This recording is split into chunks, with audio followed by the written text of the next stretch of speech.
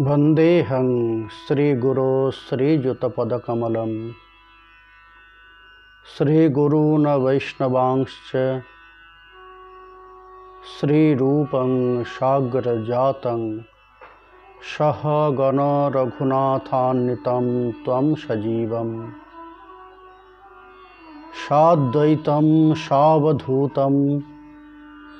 পরিজনসহিত শ্রীকৃষ্ণ চৈতন্যদেব শ্রীরাধাকৃষ্ণপাদান সহগণলিতা শ্রীবিশাখান্বিত জয়তাং সুরত। পঙ্গোর্মম মন্দমতির্গতি। মৎসর্বস্ব পদাম্ভোজৌ। श्री राधा मदन मोहनो बद्धे वितनुते भक्ति। मूर्खमावर्त श्रुति। यत्कृपात्वमहं वंदे श्री मदन गोपालकं प्रभु जयनिताय परम कृपालु। নিখিল রসিক ভক্তগণ মুকুটমণি। পরমহংস চূড়ামণি শ্রীল সুখদেব গোস্বামী চরণ। হস্তিনাপুর গঙ্গা তীরে। পরীক্ষিত মহারাজ সমীপে পুনরায় আরম্ভ করলেন সেই অপূর্ব কৃষ্ণ কথা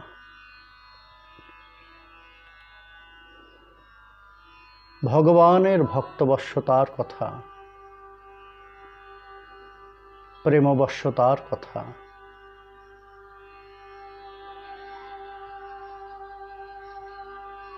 হে মহারাজ ভগবানেরও ওই বিবশ অবস্থা হয়।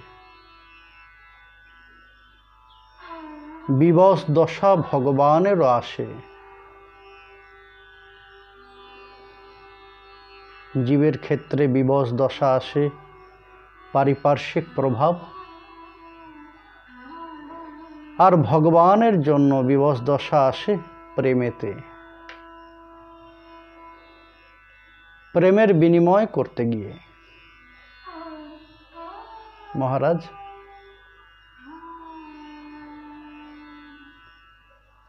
পরিস্থিতি ভগবানকে বাধ্য করেছে। বৃন্দাবন ত্যাগ করে মথুরায় আসার জন্য। কেন? না ওই ভক্তের প্রতি কর্তব্য, তার বহিরঙ্গ একটা প্রতিশ্রুতি আছে। ধর্মের স্থাপনা করা, অধর্মের বিনাশ করা, সাধুজনের রক্ষণ। আর সেই সাথে যখন প্রেমটিও যুক্ত হয়ে যায়, ভক্তের আরতি, হৃদয়ের আরতিটা যুক্ত হয়ে যায়। তখন ভগবান তাকে উপেক্ষা করতে পারেন না। প্রেম সে যত ক্ষুদ্রই হোক না কেন, প্রেমিক শিরোমণি, তিনি তাকে কি করে উপেক্ষা করবেন মহারাজ?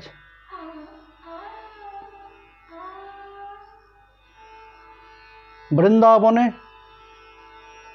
বিশুদ্ধ প্রেমেতে মাতোয়ারা ছিলেন, সেখানেই ডুবে থাকতে পারতেন। কারণ তিনি তো ইচ্ছাময়। করতুম, অকর্তুম, অন্যথা করতুম সামর্থ্যের অধিকারী। ভগবান যদি মনে করতেন যে না, এই প্রেমকে ছেড়ে আমি কোথাও যাব না। এই প্রেমের আস্বাদন আমাকে বিভোর করেছে, সুতরাং এই প্রেমেতেই আমি ডুবে থাকব। এই একান্ত জনদের নিয়েই আমি ডুবে থাকব। কিন্তু তিনি যে ভগবান, তিনি যে প্রেমিক, তিনি যে অচ্যুত, তিনি যে শরণাগত বৎসল, তিনি যে ধর্মের প্রতিষ্ঠাতা, কি করে কি করে তার দায়িত্ব, কর্তব্যকে অবহেলা করবেন? ছুটে আসতে হয়েছে।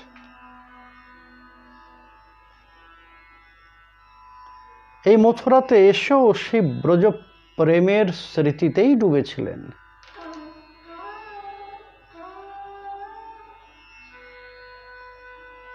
আর সেই স্মৃতিকে অনুপ্রাণিত করার জন্য, অনুপ্রাণিত করার জন্য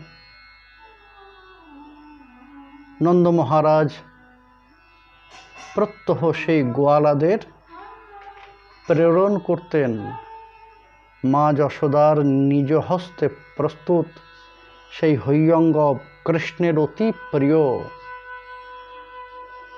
নৈচিক জাতীয় গাভীর দুগ্ধ থেকে যে দধি প্রস্তুত হয়, সেই দধি সেই দধি থেকে উত্তোলিত নবনীত হৈয়ঙ্গব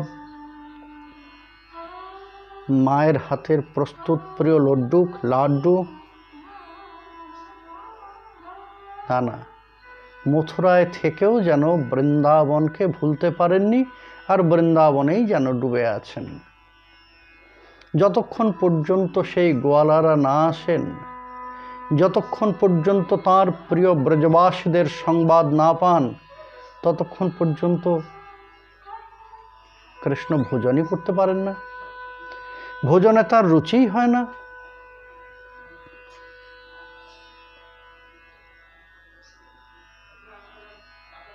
কিন্তু এখন বড় অদ্ভুত পরিস্থিতি মহারাজ। ভগবান গিয়েছেন গুরুকুলে।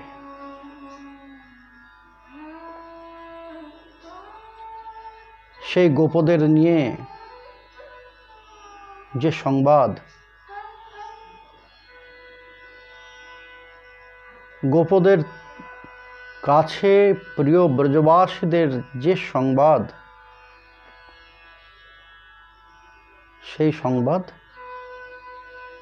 আর তিনি লাভ করছেন না।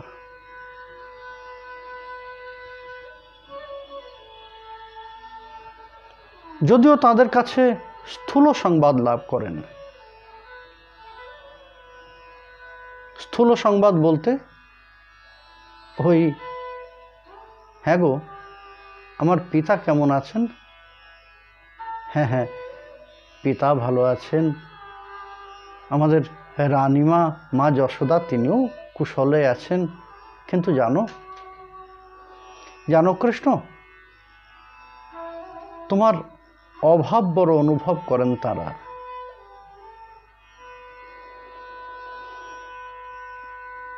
কারণ একমাত্র সন্তান তো। এই জন্য তোমার অভাব বড় অনুভব করেন। আচ্ছা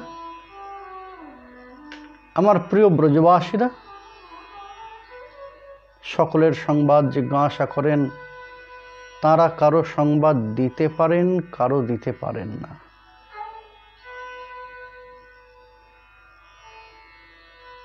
সখাদের বিষয়ে তিনি নিশ্চিন্ত।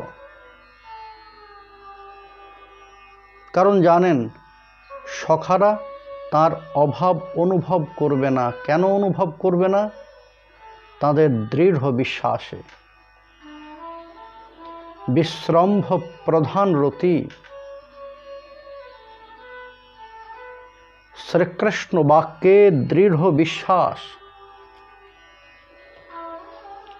এই দৃঢ় বিশ্বাসে সখারা বিচলিত হবেন না যে না, কৃষ্ণ বলেছে যে আমাদের ওই বনে যেতে গাভীদের নিয়ে কৃষ্ণ সেখানে আমাদের সাথে মিলিত হবে। আর সত্যি কথা, তাদের সেই বিশ্বাসে তারা কৃষ্ণের সাথে যেন মিলিতও হতেন। সকলে কৃষ্ণ বিরহ সিন্ধুতে নিমজ্জিত ছিল। নন্দ বাবা, মা যশোদা, অন্যান্য ব্রজবাসী বৃন্দ। কিন্তু কিন্তু সখারা? সখারা তা ছিলেন না।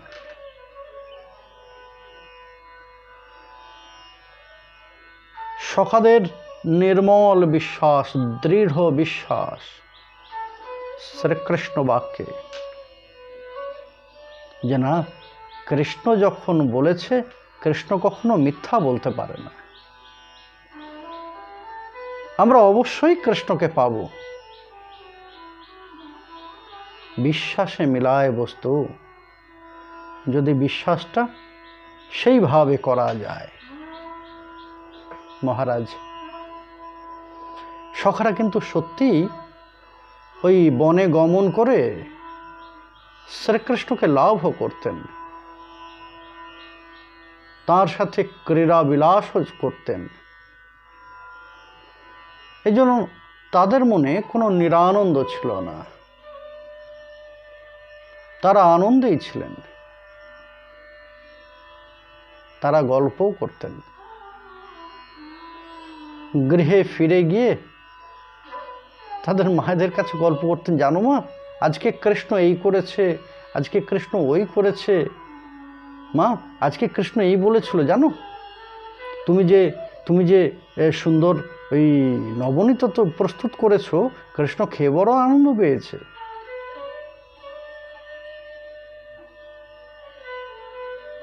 সেই সখারা যাঁদের বলছেন, তারাও তো কৃষ্ণ বিরহ সিন্ধুতে নিমজ্জিত।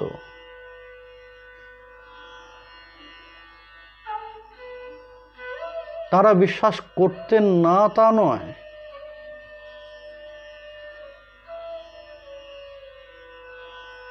সখাদের সখাদের সেই সমস্ত কথায় তারা কোনো উত্তর করতেন না।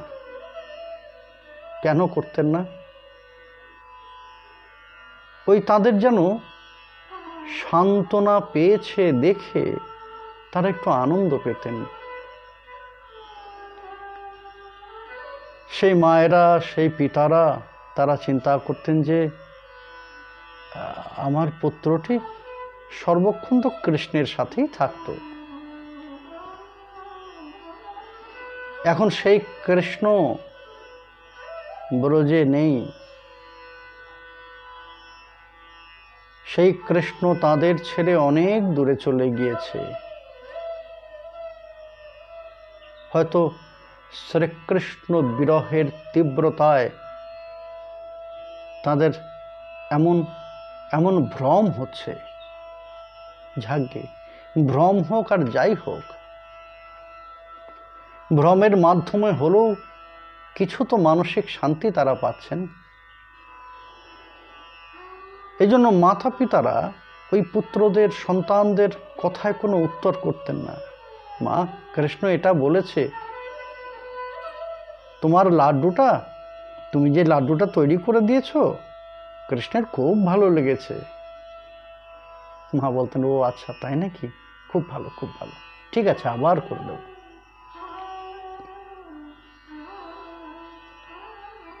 তারাও কৃষ্ণ বিরহ সিন্ধুতে নিমজ্জিত। নিজ পুত্রের থেকেও বেশি স্নেহ যেন কৃষ্ণের প্রতি। মনের সুপ্ত বাসনা। কৃষ্ণ যদি আমার পুত্র হতো।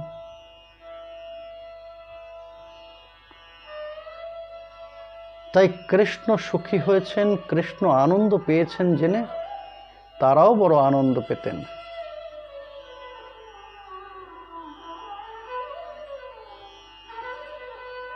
তাই আজ কৃষ্ণ ব্রজত্যাগে বিরহ সিন্ধুতে এরাও ডুবে আছেন।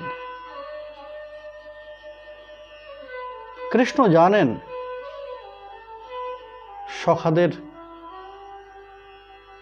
সখাদের হৃদয় প্রস্তুত আছে। সখারা আমার অভাব অনুভব করবে না, আমার বিরহ অনুভব করবে না। তাদের বিশ্বাসে তারা আমাকে লাভ করবে। এই জন্য তাদের কথা জিজ্ঞাসা করতেন না আর প্রত্যক্ষ রূপে তাঁর প্রিয়াবর্গের কথা জিজ্ঞাসা করতে পারতেন না।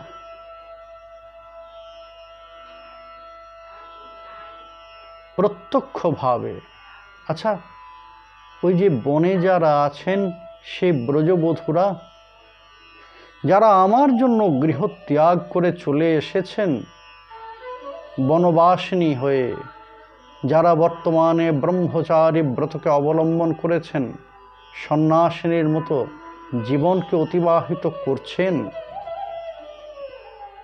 সেই তারা কেমন আছেন? না, পারেন না। সংকোচ বোধ হয়। মর্যাদার একটা বিষয় আছে তো?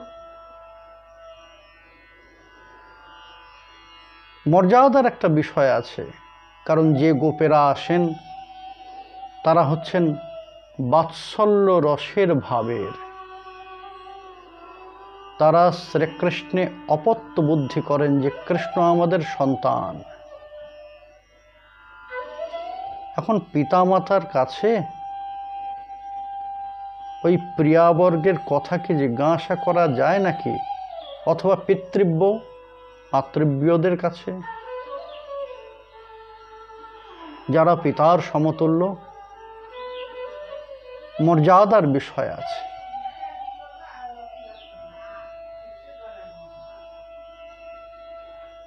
আর এদিকে ব্রজে নন্দবাবা তার বিশ্বাস নিয়ে আছেন। ব্রজবাসীরা তারাও অধীর আগ্রহ অপেক্ষা করছেন। কৃষ্ণ নিশ্চয়ই ফিরে আসবে। কৃষ্ণ আমাদের থেকে দূরে বেশি দিন থাকতেই পারেন না। কি করে থাকবেন কৃষ্ণ?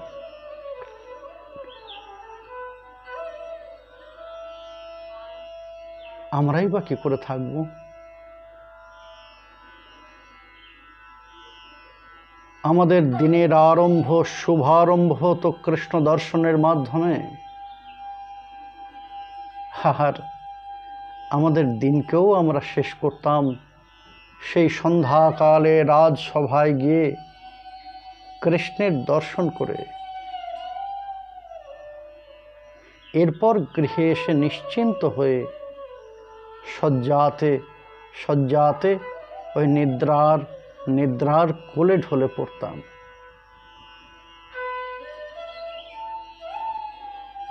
এখন তো আর সেটা হচ্ছে না। দিনান্তে একবার শ্রীকৃষ্ণের সংবাদ পাই। তাই এই গোয়ালারা যখন মথুরা থেকে বৃন্দাবনে প্রত্যাবর্তন করেন, তারা অধীর আগ্রহে অপেক্ষা করেন। কখন তারা আসবেন? কৃষ্ণ কেমন আছেন? কৃষ্ণ কেমন বস্ত্র পরিধান করেছেন? কেমনভাবে পরিধান করেছেন?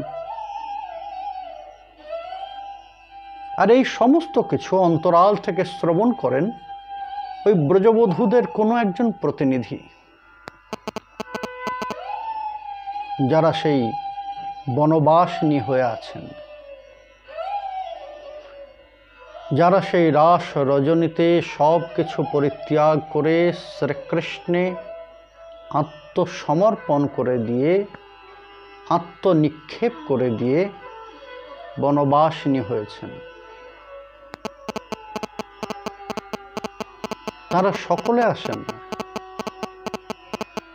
কোনো একজন, তাদের প্রতিনিধি কোনো একজন। যদি জানার কিছু থাকে, প্রত্যক্ষভাবে জিজ্ঞাসা করতে পারেন না। কেন? ওই যে সংকোচ। যারা সংবাদ নিয়ে এসেছেন, কৃষ্ণ সংবাদ নিয়ে এসেছেন, তারা পিতৃব্য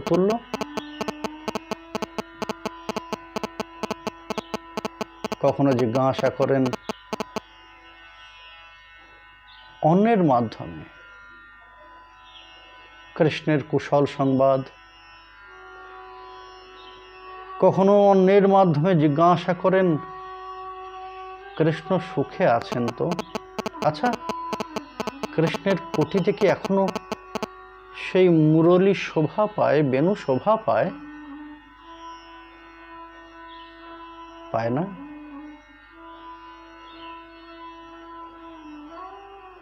একদিন, দুদিন তিন দিন উত্তর যখন আসে যে, না, বেনু তো দেখলাম না। ও,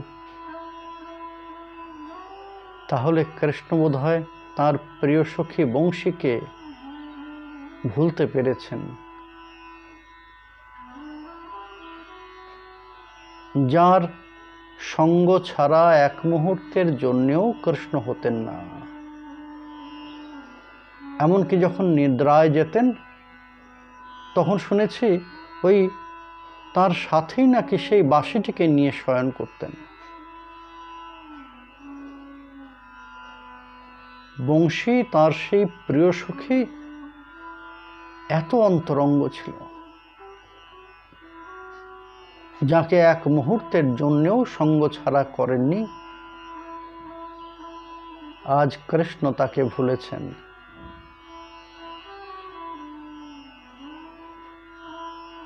কৃষ্ণ তাকে ভুলেছেন। যদি তাকে ভুলতে পারেন, তাহলে নিশ্চয়ই আমাদেরও ভুলে যাবেন।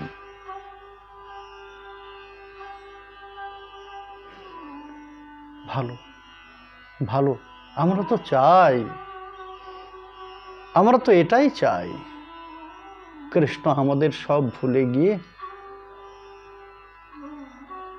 মহানন্দে থাকুন। ওই মথুরায় যারা আছেন, তার পার্ষদ তাদের নিয়ে মহানন্দে কৃষ্ণ তার দিনকে অতিবাহিত করুন। এক মুহূর্তের জন্যেও যেন আমাদের কথা তার স্মৃতি পথে না আসে।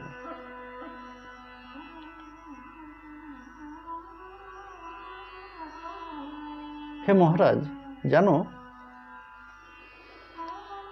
হয়তো তোমার মনে প্রশ্ন জাগতে পারে। বেশ। কৃষ্ণ ব্রজে গমন করেননি। তার কারণ ওই তার ব্রজের প্রতি দুর্বলতা জরাসন্ধ জেনে যেতে পারেন।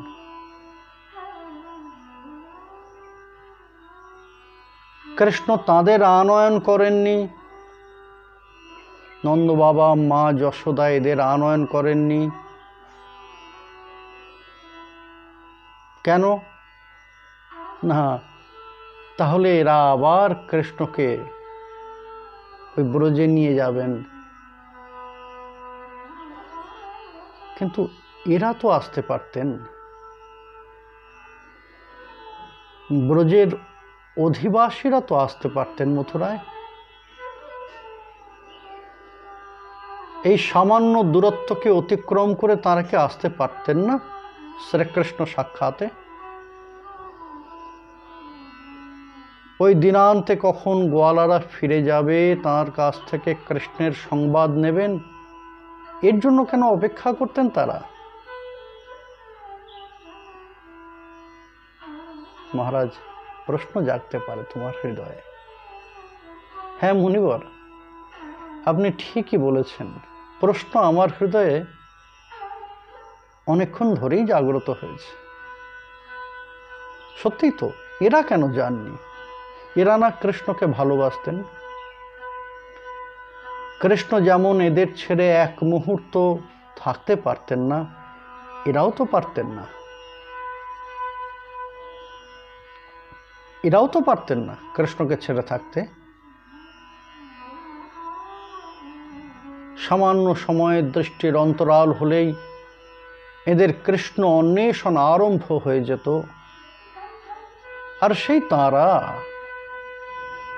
ওই কৃষ্ণের সংবাদ নেওয়ার জন্য কখন দিনের শেষে গোয়ালারা ফিরে যাবেন তার জন্য অপেক্ষা করতেন? কেন অপেক্ষা করতেন? পরীক্ষিত, সংকোচ। ঐশ্বর্য এবং মাধুর্যের মধ্যবর্তী একটা স্থান আছে, সংকোচের, যা ঐশ্বর্য এবং মাধুর্যকে কখনো একসাথে মিলিয়ে দিতে পারে না।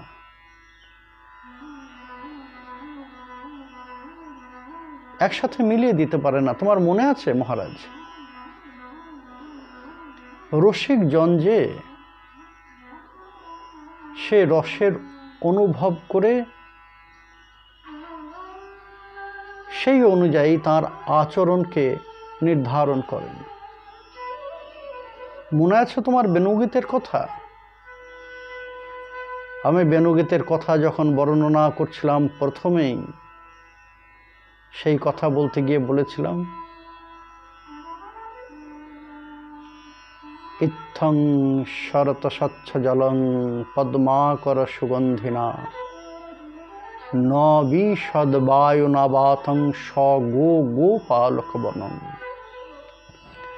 কুসুমিত বনরাগে সুস্মি ভৃঙ্গ দ্বিজকুল ঘুষ্ট সর সরেন মহিদ্রাম মধুপতিরবগাহ্য চারয়ন গা সহ পশু বা পাল বলশ্চুকুজ বেনুম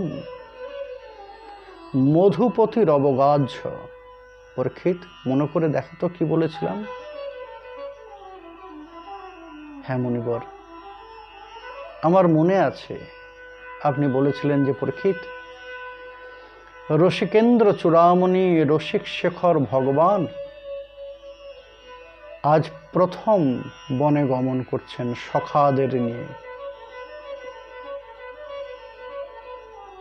সেই জন্য বনপ্রবেশ করতে গিয়েই বনপ্রান্ত থেকে বনসভা দর্শন করে বিভোর হয়ে গিয়েছেন। আর রসাভাসের অনুভব করলেন। সখাদেরকে ডেকে বললেন, সখা দেখ, এই অপূর্ব শোভা বনের ষড়ঋতুর কুসুম বিকশিত হয়েছে। আজ এই বন যেন নবসজ্জায় সুসজ্জিত, সুসজ্জিতা।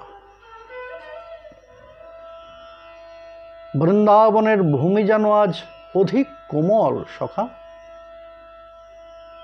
তুই ঠিকই বলেছিস, কৃষ্ণ।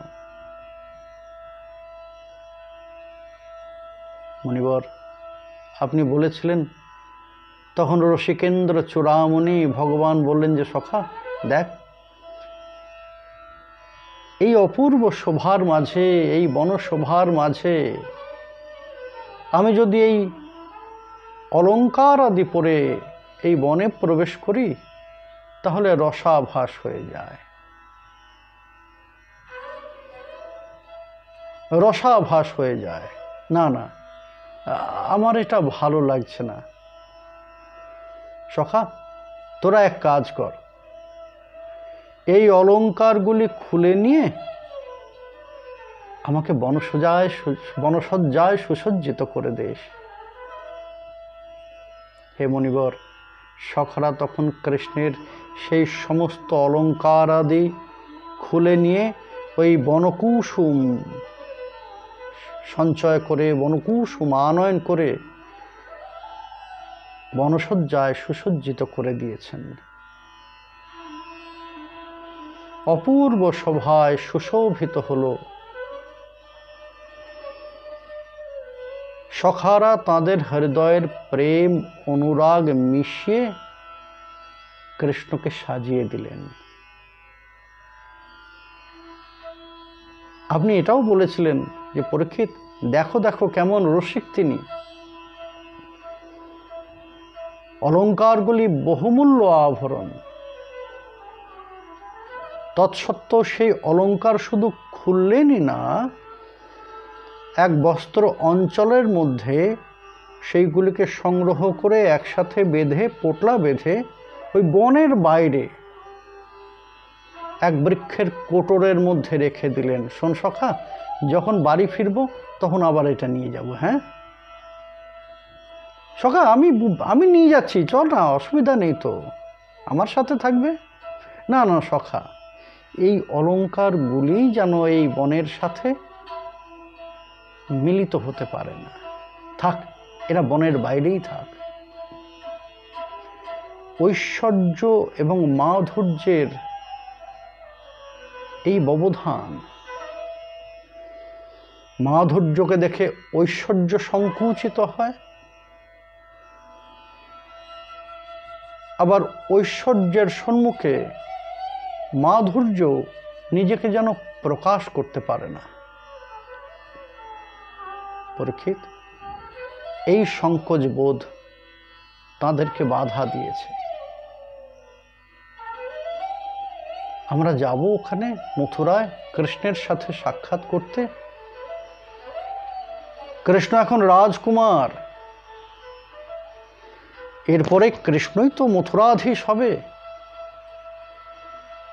সে এখন রাজা, বলতে গেলে রাজাই।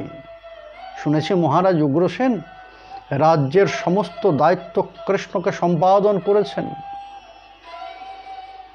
এই যে গোপীরা ফিরে আসেন, তারা প্রত্যহ কৃষ্ণের যে ওই অঙ্গ বস্ত্রাদির কথা বলেন সে তো রাজকীয়। সুবর্ণ মুকুট বহুমূল্য বস্ত্রাদি। না না, আমরা সামান্য গোপ। এমন ঐশ্বর্যের মধ্যে গিয়ে স্বচ্ছন্দ বোধ করব না। মানিয়ে নিতে পারব না। কৃষ্ণ আমাদের আদর করবে। কৃষ্ণ আমাদের বরণ করে নেবে। কৃষ্ণ আমাদের ভালোবাসবে, কিন্তু এত ঐশ্বর্যের মাঝে আমরা স্বচ্ছন্দ বোধ করব না। মাধুর্য, ঐশ্বর্যের সম্মুখে, ঐশ্বর্যের সাথে, স্বচ্ছন্দ নয় মহারাজ। এই সংকোচবোধ এই সংকোচ বোধে এরাও কখনো প্রচেষ্টা করেননি যে না না। সকলকে বুঝিয়েছেন যে না না, শোনো আমরা গেলে কৃষ্ণের দায়িত্বের চ্যুতি হতে পারে। কৃষ্ণ এখন কত কর্তব্য সমাধা করছে। শুনেছি মহারাজ উগ্রসেন নিজে রাজ্যের সমস্ত দায়িত্ব কৃষ্ণের হাতে সমাধা করেছেন, প্রদান করেছেন। বলেছেন যে, কৃষ্ণ, রাজা তো আমি ঠিকই। রাজাসনে আমি না হয় থাকলাম, কিন্তু রাজ্য কার্য পরিচালনা তোমাকেই করতে হবে, কৃষ্ণ। সুতরাং কৃষ্ণের এখন অনেক দায়িত্ব অনেক দায়িত্ব। সমস্ত প্রজাদের রক্ষণাবেক্ষণ, প্রজাদের সুখ বিধান করা। কিন্তু এটা তো বাহ্যিক প্রকাশ যে আমরা গেলে আমাদের প্রেমেতে কৃষ্ণের কার্য বাধিত হবে। কেননা কৃষ্ণ আমাদের সঙ্গে থাকবেন সব সময়। তার দায়িত্ব অব, অবহেলা হবে, কর্তব্য অবহেলা হবে। আর আমাদের কৃষ্ণকে এই কথা কেউ বলবেন যে, না, কৃষ্ণ তার কর্তব্য প্রতিপালন করেননি ঠিক মতো এইটা তো সহ্য করতে পারব না। এই যে আমাদের হৃদয় বিদারক হবে। না না না, থাক থাক, দরকার নেই। বাহ্যিক প্রকাশ এইটা। কিন্তু অন্তরের বিষয়, মূল কারণটি কি? না, ওই যে ঐশ্বর্য এবং মাধুর্যের সংঘাত। ঐশ্বর্য, মাধুর্যের সম্মুখে আত্মপ্রকাশ করতে পারেন না, আর মাধুর্য ঐশ্বর্যের সম্মুখে সংকুচিত হয়ে যান।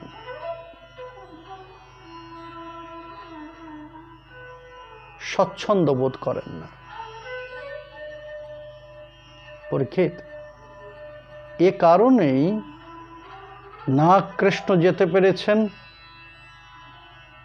না তাদের আনতে পেরেছেন, না এরা স্বয়ং গিয়ে কৃষ্ণের সাথে সাক্ষাৎ করতে পেরেছেন। তাই উভয়েরই উভয়েরই ওই দিনকে অতিবাহিত করার একমাত্র অবলম্বন ছিল সেই গোপ। সেই কয়েকজন গোয়ালা। যারা অতি প্রত্যুষে আসতেন সে ব্রজ থেকে, নন্দালয় থেকে সেই মা যশোদার প্রস্তুত সমস্ত সামগ্রী নিয়ে মথুরাতে। আবার দিনশেষে তারা ফিরে যেতেন ব্রজে। সেই রাজসভাতে সকলের সম্মুখে তারা বর্ণনা করতেন কৃষ্ণের সংবাদ। আর এদিকে কৃষ্ণ তাদের কাছেই তার প্রিয় ব্রজবাসের সংবাদ নিতেন। চলছিল ভালো, কিন্তু মহারাজ এই গুরুগৃহে এসেই হলো বিপদ। ভগবানের নিষ্ঠার ত্রুটি ছিল না গুরু সেবাতে, শ্রদ্ধার ত্রুটি ছিল না, সেবার ত্রুটি ছিল না, গুরু উপদেশ গ্রহণের ত্রুটি ছিল না, সব কিছু ছিল ঠিক, কিন্তু অভাব ছিল এই ব্রজ প্রেম আস্বাদনের।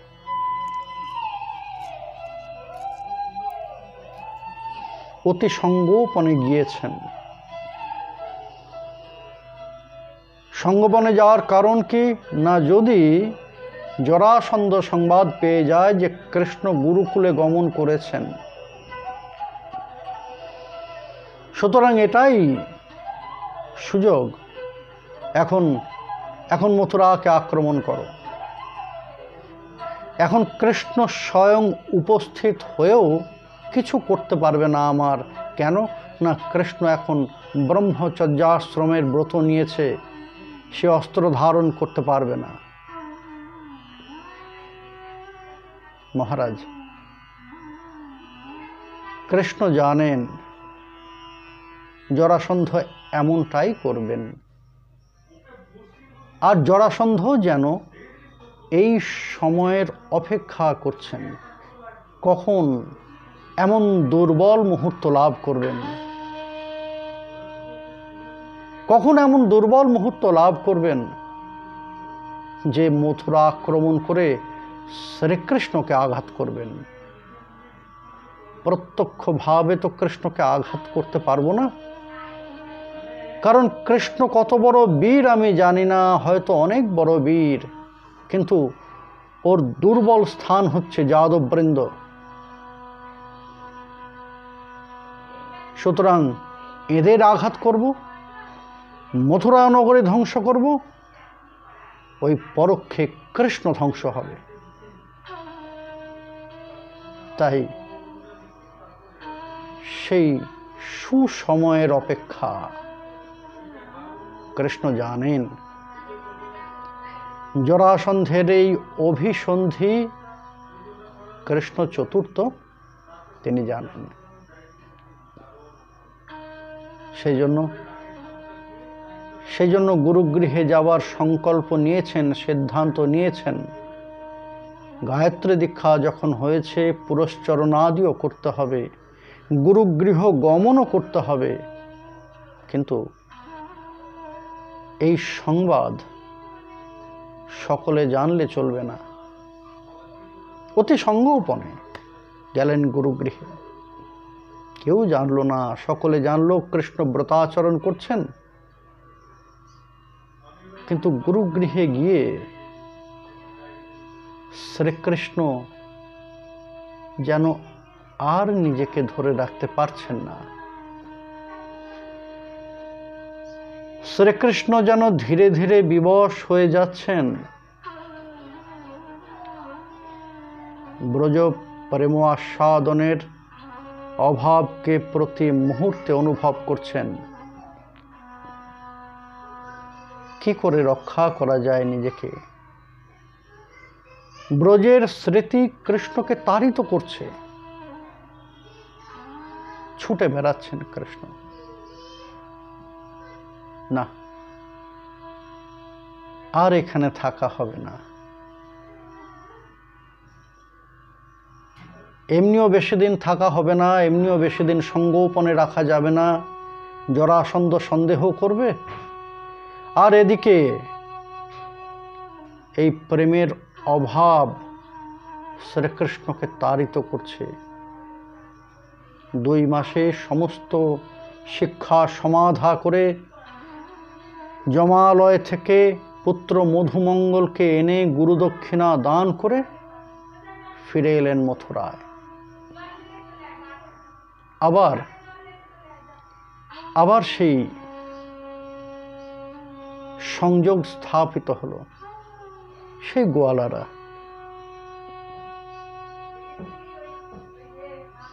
সেই গোয়ালারা তারা ব্রজের সংবাদ বহন করে নিয়ে আসছেন। তাদের দর্শন মাত্রেই শ্রীকৃষ্ণ তাদের মুখে যেন সকলকে দর্শন করছেন। কখনো বাবার কথা জিজ্ঞাসা করছেন, কখনো মায়ের কথা জিজ্ঞাসা করছেন, কখনো ব্রজবাসীদের কথা জিজ্ঞাসা করছেন, আকুলি বিকুলি করছেন তাদের প্রিয়াবর্গের সংবাদ নেওয়ার জন্য, কিন্তু পারছেন না।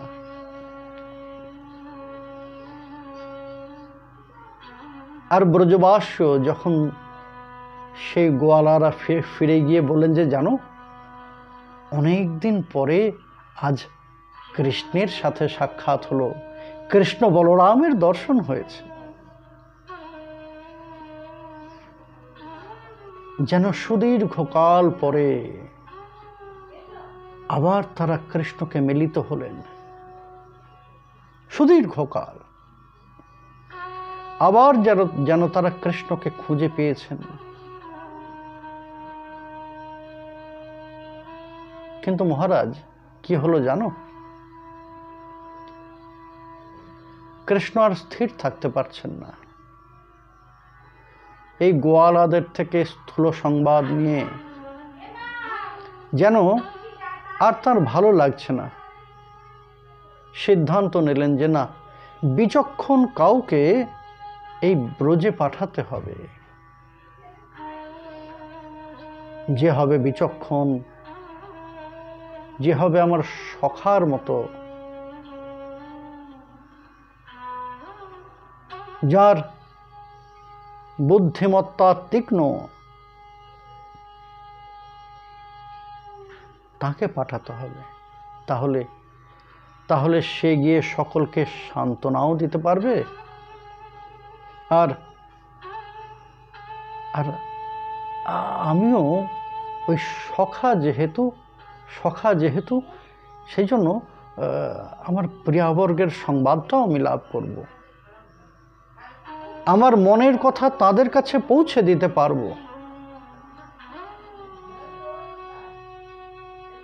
আর বিচক্ষণ, বিদগ্ধ, এমন কাউকে যদি পাঠাই, সে ব্রজ প্রেমের শিক্ষা নিয়ে ফিরে এসে এখানে সকলকে ব্রজপ্রেমের শিক্ষা দেবে।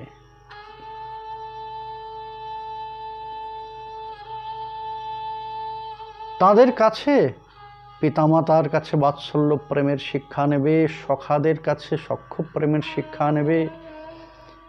আমার প্রিয়াবর্গের কাছে মধুরার রথের শিক্ষা নেবে। আর এই শিক্ষা নিয়ে এইখানে এসে সে সকলকে ব্রজ প্রেমের শিক্ষা দান করবে। এই জন্য এমন একজনকে নির্বাচন করতে হবে যে আমার সখা হবে হ্যাঁ? যে আমার সখা হবে যে বিচক্ষণ হবে, পণ্ডিত হবে।